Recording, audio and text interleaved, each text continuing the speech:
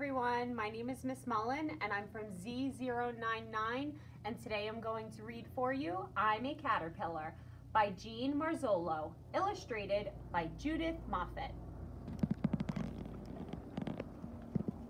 I'm a caterpillar.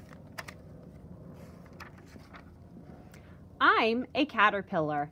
Munch, crunch. I'm getting bigger. Munch, crunch. Munch, crunch, munch, crunch.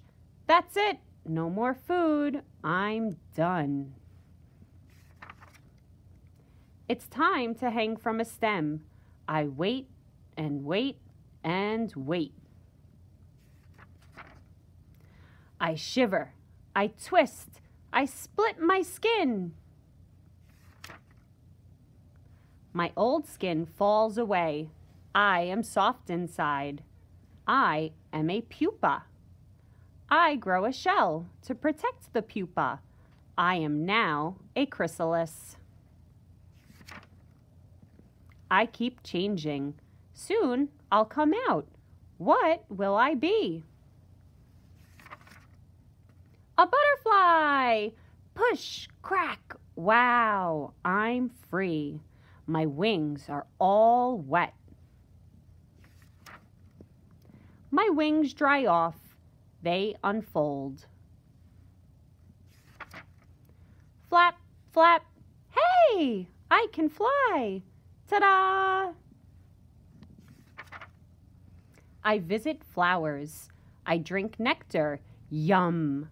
My mouth is like a straw. Sip, sip, sip. I have a mate. We visit many flowers. We're not afraid of birds. They know that we taste awful. Soon I will lay my eggs. The eggs have thin shells. Baby caterpillars crawl out. Hi, I'm a caterpillar. Munch, crunch. What will happen to me next? Do you know? The end.